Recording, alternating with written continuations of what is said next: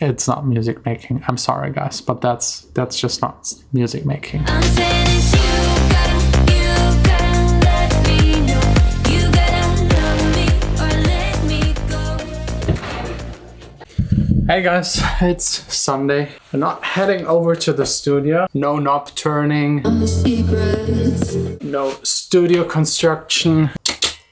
But of course, as always, I'm trying to squeeze in as much work as possible, even on a Sunday. So while going out for a run, I'm listening to some demos for my label. It's actually not that cold, but unfortunately, no no good demos so far. So another 5k. Whoa, 10k through mud and snow. Definitely the wrong choice. My socks are soaking, soaking wet. It's disgusting. And speaking of disgusting, some of the demos, I mean, some were good, some were bad, some were really good, but not the style that fits to my label. But some of them were were really, really just like disgusting. That's that's the best way to describe it.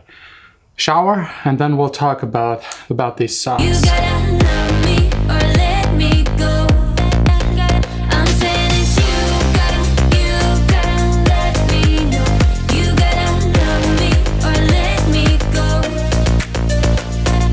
Way colder when you're out here just just going for a walk. Vanessa's already jumping a little. Yeah. So these songs, like three today, and we had that already in the past, actually last week in the track submit edition. And you might remember a while ago there was like a 14 year old. Do you still remember him? Yes, I do. That was kind of a, a funny story. So basically, in, in a nutshell, people just outright stealing either other people's songs or songs that they didn't make and pretending it's theirs. That's just something I don't get. I absolutely don't get it, especially nowadays, internet, everyone connected. Ooh, a Häschen. Yeah, I don't I don't get people stealing it and, and thinking getting away with it. Because eventually someone will notice. For example, today someone submitted me a song like a song by Calvin Harris. Can you believe someone sends me a song by Calvin Harris and No, pretends can't. it's theirs? Like No, that's very stupid. I mean, we're talking about a song that was played a million times on the radio. And then there are songs that I received that entirely, entirely, entirely 100% are made out of construction kits. Then I sometimes receive songs that are entirely made out of splice samples. So people just taking blocks other people made and just like layering them on top of each other and that's it. And they sometimes don't even mix it or do anything to it. I'm sorry to say this, but this is absolutely not music production, at least to me. I don't know what your opinion is about that topic, but whenever I hear a song where I know nothing was really done, not any artistic kind of choice, just like dragging things together, it makes me a little angry. I would never ever release something like that.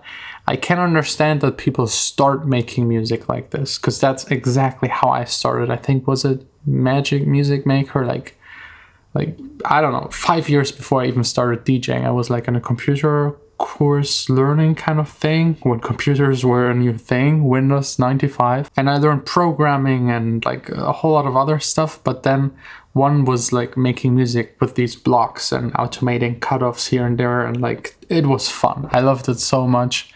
That was like my first contact with it. That's fine, but you have to understand that's not music making. And then we of course got people that use a lot of presets, a lot of samples. I personally, and that is just me, and it's just me right now, because back in the days I used a whole lot of loops and just put a kick underneath. Nowadays, I try to make as much as possible myself because, first of all, I enjoy it way more. I have way, way more control. That's actually like the main, main, main reason. I'm even like shaping my own kicks and Kick 2 where I can draw it and whenever I want.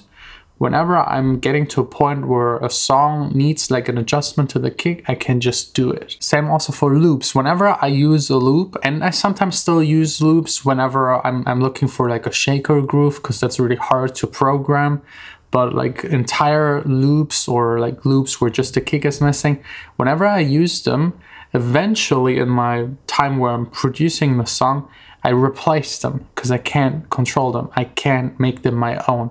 There is maybe a head in there that is too loud, too quiet, and it just annoys me. I mean, at the end, I want a song that I release to be 100% my decision. And for that, I need control over every single element in there. And that's the only way to do it yourself. Yes, you could now push it even further and start to even, I don't know, like go and record your own drums. And that's then a point again that's maybe like the, the flip side of it people doing too little themselves and people doing too much themselves. For example, I know how to play the guitar, but it's not good enough for my own productions. I want to deliver a good song, so I get someone else to do it for me that is like trained in playing the guitar. Same for singing, I just can't sing, and if I need a female voice, I, I can't turn my voice into a female voice. So there, there are limits to it, and, and also limits where it just doesn't make any sense anymore. Just imagine you would program your own synths, build your own DAW, and then like th- there is a limit, and I think everyone should find like on the scale between not doing anything and doing everything entirely a point where they're happy. I'd say i'm like in the middle maybe a little closer towards doing more myself but then i receive so much music that is at the very very low end of it and i understand that beginners start there but then maybe not send it to someone. Maybe when you're at the very end and that is stealing for me. If you're stealing someone else's track please don't send it to me. It's just wasting my time. It's embarrassing. I might not notice it and put it in my vlog in a track submit and then everyone will comment down below that you just stole it. At least get to a point where you use like samples one shots maybe some loops maybe presets. I think that's like that's like a good starting point. Everything below that it's not music making. I'm sorry guys, but that's that's just not music making. Let me know what you think about this topic. I will in the meantime do something myself. I've actually never done before.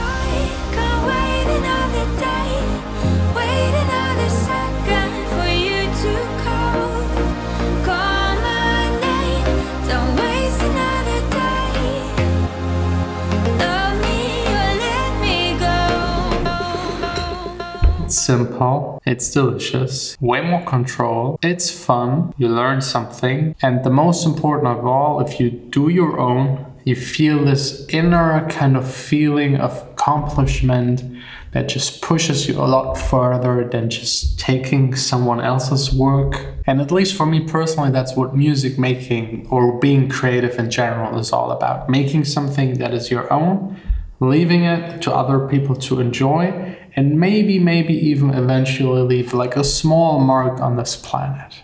Just a tiny one.